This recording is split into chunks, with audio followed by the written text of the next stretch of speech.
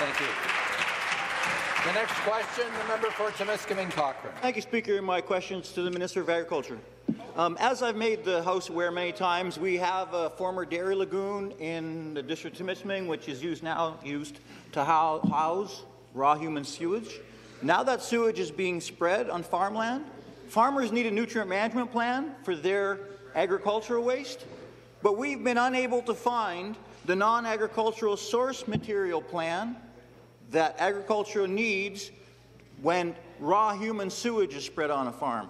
Is, it, is, is that plan needed when raw human sewage is spread on agricultural land which crops are sold that could be very well used in human food? Thank yeah. you. Minister of Agriculture, Food and Rural Affairs. Thank you very much, Mr. Speaker. And uh, I appreciate the opportunity to talk about the environmental farm plan that we have in Ontario, because really and truly, we lead North America with the environmental farm plan that dates back to the 1990s.